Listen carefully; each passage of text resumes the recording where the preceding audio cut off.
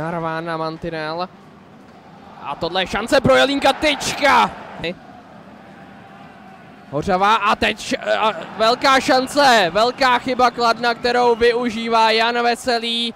A nejproduktivnější hráč Slávě teď ale pokračuje v pásmu. Kružík, Vildumec. Ještě hledal Keharat. Šagát. Tohle nebylo offside, Šagát může hrát. Ještě protiútok z druhé vlny a je to gol Slávě na 2-0. Gol dává Jiří Drtina. Macháč. Ještě Zajíc.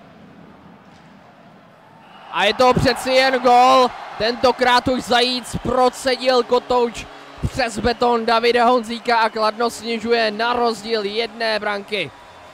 1-2. Josef Zajíc překonává jako první Davida Honzíka.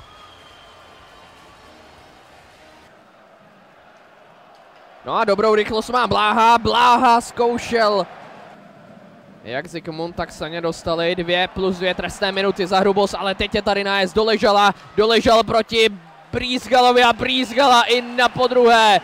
Tohle pochytal, no a je z toho trest pro Slávy za ten nájezd do Brýsgaly, nebo sek... Svedlund. A velká šance pro Kladno. Adam Kubík vyrovnává na 2-2, dvě a půl minuty před koncem třetí třetiny na Adama Kubíka zývala prázdná bra... Šagát. Ale upadl a jsou z toho problémy pro slavistickou obranu. Velká šance. Ale ten...